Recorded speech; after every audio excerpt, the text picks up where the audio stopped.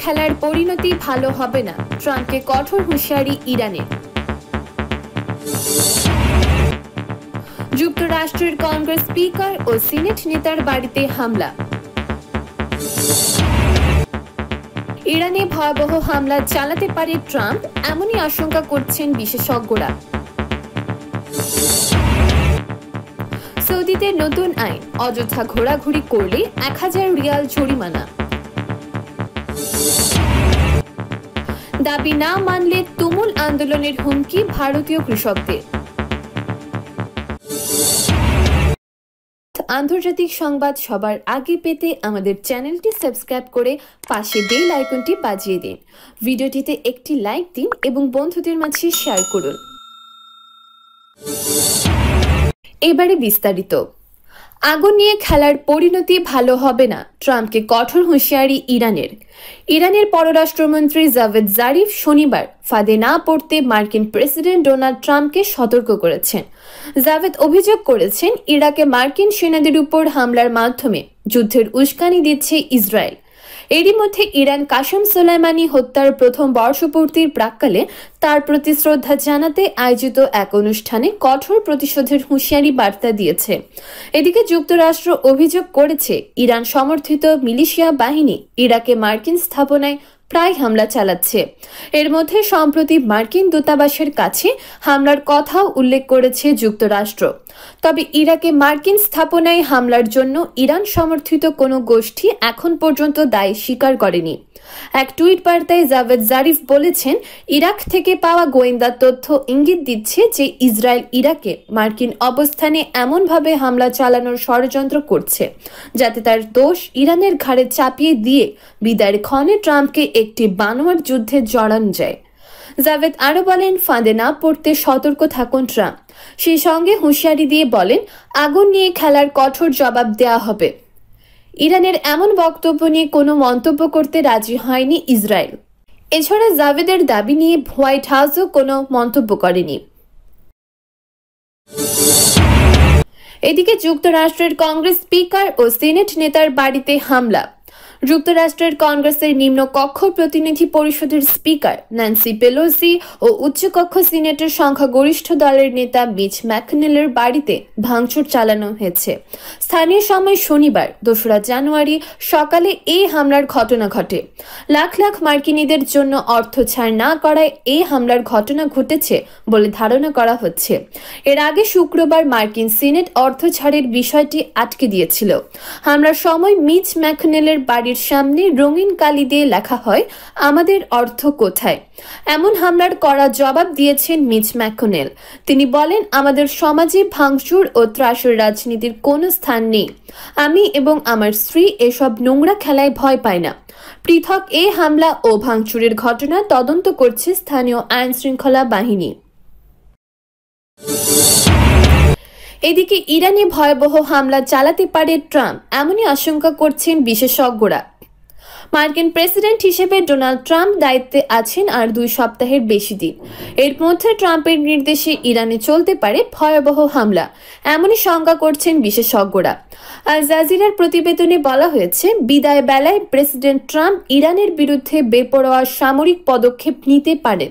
এদিকে Iran Kashem Soleimani হত্যার প্রথম বর্ষপূর্তির প্রাককালে তার প্রতি শ্রদ্ধা জানাতে আয়োজিত এক অনুষ্ঠানে কঠোর প্রতিশোধের হুঁশিয়ারি বার্তা দিয়েছে।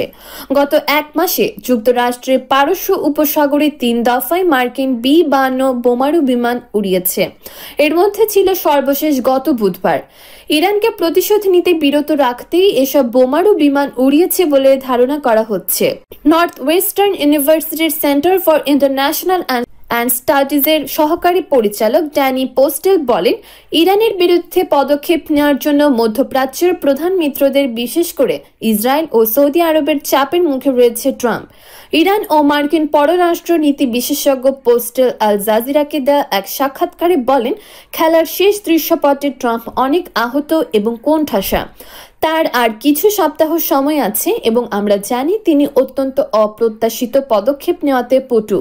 তিনি আরও বলেন, এটি সম্ভবত তার সবচেয়ে অপ্রত্যাশিত ঘটনা হতে পারে।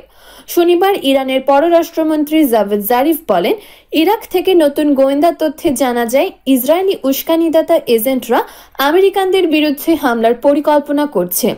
জারিফ ট্রাম্পকে ফাঁদে না পড়তে সতর্ক থাকতে বলেছেন। এদিকে সৌদিতে নতুন আইন, অযথা ঘোরাঘুরি করলে এক হাজার রিয়াল জরিমানা। সৌদি আরবে সাধারণ জনগণের চলাচলের জায়গায় কোনো রকমের খাদ্য কিংবা পানীয় গ্রহণ করলে এক হাজার রিয়াল জরিমানা করা হবে।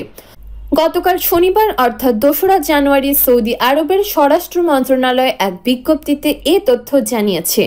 বিজ্ঞপ্তিতে জানানো হয়, রাস্তাঘাটে একসঙ্গে দুজনের বেশি চলাফেরা করা যাবে না। এছাড়া দেশটির স্বাস্থ্যবিধি না মানলে প্রবাসী কিংবা স্থানীয় নাগরিক জরিমানার আওতায় পড়বে। এদিকে অযথা রাস্তায় হাঁটাহাঁটি কিংবা পানি পান না করতে প্রবাসীদের আহ্বান জানিয়েছেন দেশটির বাংলাদেশি কমিউনিটির নেতাকর্মীরা। সৌদি আরবে আগের দিনের চেয়ে আক্রান্তের হার কমেছে। আজ নতুন করে আক্রান্ত হয়েছে একশো একজন সুস্থ হয়েছে আরও একশো বিরাশি জন। আক্রান্ত হয়ে মৃত্যুবরণ করে আরও নয় জন। এখন পর্যন্ত দেশটিতে মৃত্যুবরণ করেন ছয় হাজার দুইশো উনচল্লিশ জন। এ পর্যন্ত মোট আক্রান্ত তিন লাখ বাষট্টি হাজার নয়শো উনআশি জন। মোট সুস্থের সংখ্যা তিন লাখ চুয়ান্ন হাজার দুইশো তেষট্টি জন। এদিকে দাবি না মানলে তুমুল আন্দোলনের হুমকি ভারতীয় কৃষকদের। দাবি মানা না হলে দেশব্যাপী তুমুল আন্দোলনের হুমকি দিয়েছে ভারতের কৃষক নেতারা। সংলাপকে সামনে রেখে ক্ষমতাসীন নরেন্দ্র মোদীর ভারতীয় জনতা পার্টি, বিজেপি, সরকারকে চাপে রাখতে তারা এই হুমকি দেয়। কৃষক ইউনিয়নগুলো বলছে, সোমবারের সংলাপে তিনটি কেন্দ্র কৃষি আইন বাতিল ও এমএসপির আইনগত গ্যারান্টি প্রভৃতির প্রধান দাবিগুলো পূরণ না হলে তারা ছয় জানুয়ারি থেকে দুই সপ্তাহ ব্যাপী জোরদার আন্দোলন গড়ে তুলবে। আইন বাতিলের কোনো বিকল্প সম্ভব নয় ঘোষণা দেওয়ার একদিন পর। কৃষকরা জানায়, সরকারের উচিত নয় তাদের দাবিগুলো হালকাভাবে নেওয়া। আইনগুলোর বাতিল ছাড়া অন্য কিছু আমরা গ্রহণ করব না, বলেছে কৃষক ইউনিয়নগুলো। জয় কিষাণ আন্দোলনের নেতা যোগেন্দ্র যাদব বলেন, পঞ্চাশ শতাংশ বিষয় সমাধান করার দাবিটির তেমন ভিত্তি নেই। আমাদের প্রধান দুটি দাবি এখনও ঝুলে আছে। মাত্র তো লেস সরানো হলো, এখনও গোটা হাতি দাঁড়িয়ে। সরকার এখনও এমএসপির আইনগত গ্যারান্টি দেওয়ার ব্যাপারে নীতিগতভাবে সম্মত হয়নি। দিল্লি, হরিয়ানার সিংহ সীমান্তে কৃষক ইউনিয়নের নেতাদের সাথে এক যৌথ সংবাদ সম্মেলনে এসব কথা বলেন চাঁদে তিনি বলেন, চার জানুয়ারি সংলাপে কোনো সন্তোষজনক ফলাফল না আসলে কৃষকরা ছয় জানুয়ারি কুন্দলি মানিসার পালওয়াল মহাসড়কে ট্রাক্টর মার্চ করবে। এর আগে একত্রিশ ডিসেম্বর ট্রাক্টর মার্চ করার কথা ছিল কৃষকদের। তবে ত্রিশ ডিসেম্বর সরকারের সাথে তাদের সংলাপের ফলে কৃষকরা তা স্থগিত করে। আমরা কবে শাহজাহানপুর সীমান্ত থেকে অগ্রসর হব সেই বিষয়ে আগামী সপ্তাহে তারিখ ঘোষণা করব।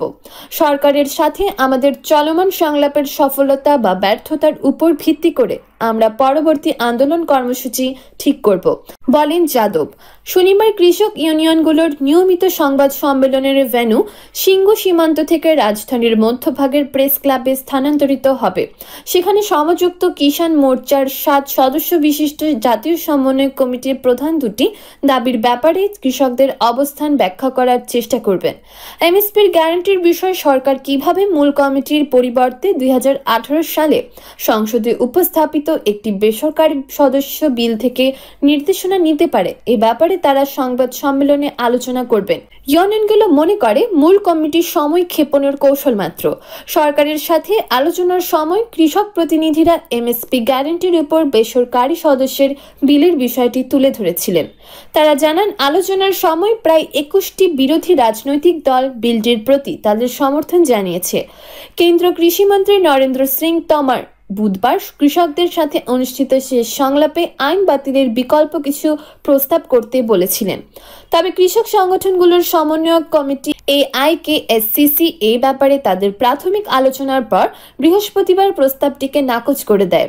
তমার এমএসপি ইস্যু নিয়ে আলোচনার জন্য একটি কমিটি গঠনেরও পরামর্শ দিয়েছিলেন। তবে ইউনিয়নগুলো এটিকে তাৎক্ষণিকভাবে প্রত্যাখ্যান করে। শুক্রবারের সভায় তারা কেন্দ্রীয় কৃষি আইনের বিরুদ্ধে কেরালা অ্যাসেম্বলির রেজুলেশনের প্রশংসা করে। ভারতীয় কিষাণ ইউনিয়নের বিকেইউ নেতা যুদবীর সিং বলেন, মনে হচ্ছে সরকার কৃষকদেরকে হালকাভাবে গণ্য করছেন।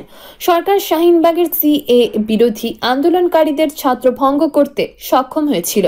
তারা আমাদের ব্যাপারেও তাই ভাবছে। তবে এমন দিন কখনো আসবে না। সরকার চার জানুয়ারির সংলাপে দাবি না মানলে কৃষকরা তাদের আন্দোলন আরও জোরদারের সিদ্ধান্ত নিতে বাধ্য হবে।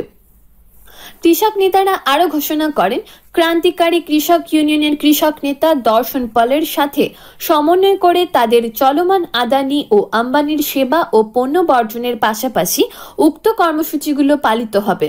তারা ঘোষণা করেন, কৃষকরা সাত জানুয়ারি থেকে আঠারো জানুয়ারি পর্যন্ত দেশব্যাপী দেশ জাগৃতি অভিযান শুরু করবে।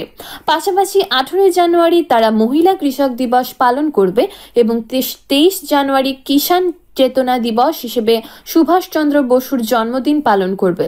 সংবাদ সম্মেলনে হরিয়ানার কৃষক নেতা বিকাশ সিসার বলেন, হরিয়ানায় সকল টোল প্লাজাগুলো খালি থাকবে।